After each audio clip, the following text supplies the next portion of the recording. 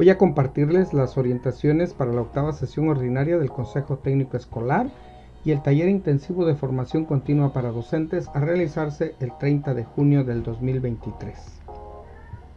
Vamos a revisar brevemente, viene la presentación. Remarcan nuevamente que se continúe con la estrategia en el aula, prevención de adicciones pero para esta sesión del Consejo Técnico la recomendación es realizar una evaluación acerca del trabajo realizado por el colectivo docente, los aprendizajes de las y los estudiantes, así como proponer actividades sobre los temas abordados en la campaña para lo que resta del presente ciclo escolar. Finalmente, en esta, en esta sesión, se incluye el anexo Educación Física en la nueva escuela mexicana como documento orientador para las maestras y los maestros de esta disciplina. En esta octava sesión ordinaria están los propósitos, las orientaciones, la evaluación diagnóstica, conceptualizada con la, como aquella que se realiza con la finalidad de explorar el estado en que se encuentra lo que se pretende evaluar y ofrece información sobre el punto de partida que constituye la base para llevar a cabo acciones de mejora. La evaluación formativa de los aprendizajes forma parte del proceso formativo, se encuentra dentro de la relación pedagógica profesor-estudiante y en el marco de un currículo que integra conocimientos y saberes alrededor de la realidad de las y los estudiantes. Las actividades de evaluación formativa aluden a procesos de reflexión y metacognición, de ahí que los instrumentos para registrar estos procesos sean de carácter cualitativo y algunos recursos pueden ser grupos de discusión, el diario de clase, rúbricas de autoevaluación, elaboración de preguntas, debate, entre otros. La acreditación. Las calificaciones que se emiten a las y a los estudiantes son el sustento de la acreditación para el pase entre grados o niveles en la educación básica. Estas se asientan a partir del juicio de las y los docentes con el apoyo de evidencias que se dan cuenta del proceso de enseñanza-aprendizaje. Mucho se ha discutido sobre el sentido de la calificación numérica y sus limitaciones para reflejar la complejidad del proceso de aprendizaje. La calificación es un requerimiento del sistema educativo, si bien es cierto que no da cuenta de todos los procesos que impulsan los docentes en la formación de las y los estudiantes.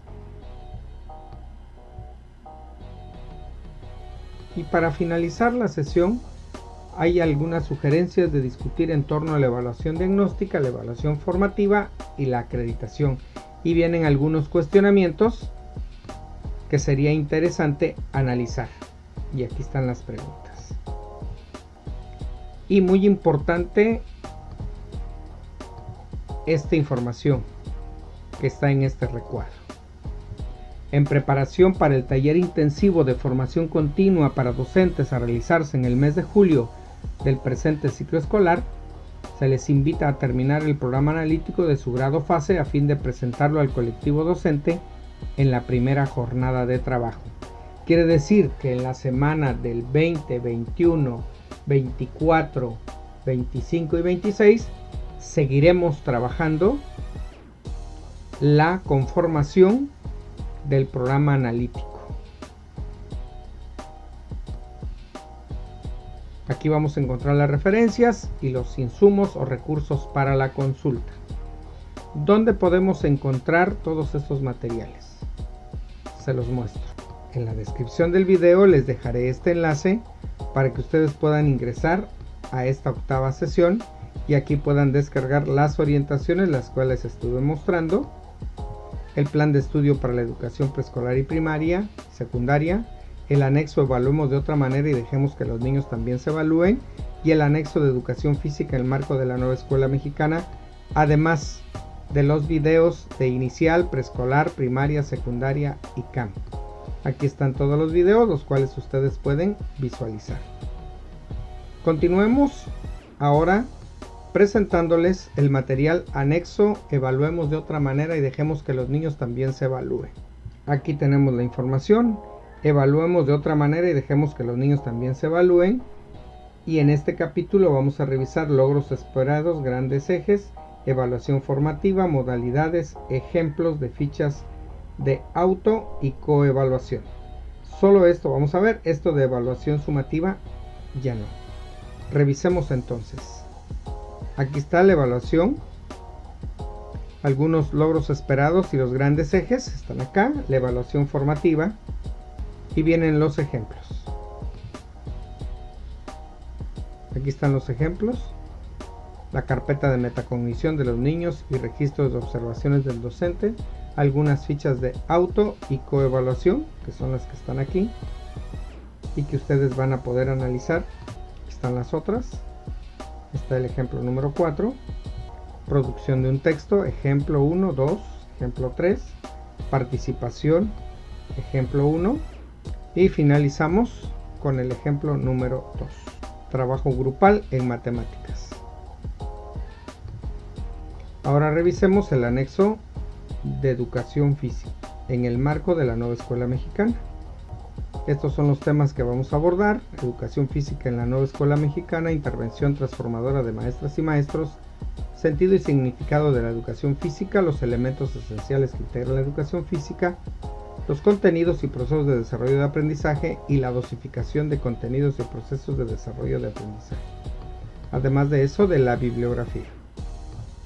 Revisemos entonces, tiene una pequeña presentación acerca de la nueva escuela mexicana, de algunos temas que ya hemos revisado nosotros, como el perfil de egreso,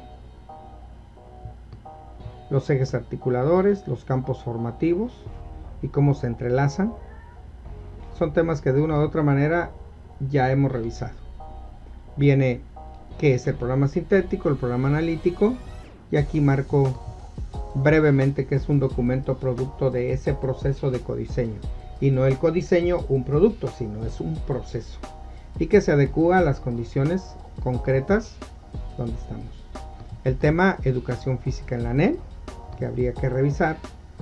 La intervención transformadora de maestras y maestros el sentido y significado de la educación física a partir del individuo que se identifica con, la asignatura con la cual trabaja, la perspectiva pedagógica de la asignatura, de la disciplina, elementos esenciales que integran la educación física. Y pueden ustedes observar que también aquí está, se le llama disciplina, la motricidad, la corporidad y la creatividad motriz. Y que cada uno de estos conceptos viene marcado perfectamente para hacer un análisis de cada uno de estos elementos. La creatividad motriz, contenidos y procesos de desarrollo de aprendizaje. Esta es parte fundamental porque los docentes de educación física decían que no venían los procesos de desarrollo de aprendizaje. Y claro que sí, aquí están. Por ejemplo, en preescolar, están en primaria y los van a encontrar en el campo formativo que es del humano y lo comunitario. Aquí está para primaria y tenemos para secundaria. Están los tres grados de secundaria. Todos estos documentos los pueden descargar en la plataforma oficial, la cual yo les dejaré el enlace para que ustedes puedan descargar. Además de eso, ustedes también van a poder encontrar esos materiales en esta plataforma. Los docentes somos un equipo. Damos clic a la pestaña Consejo Técnico Escolar y en esta parte vamos a encontrar el enlace para descargar la propuesta de materiales de Chiapas y el enlace para descargar la propuesta de materiales a nivel nacional. A partir de mañana ustedes ya podrán acceder a esta plataforma para descargar estos materiales. De mi parte es todo y nos vemos en otro video. Hasta pronto.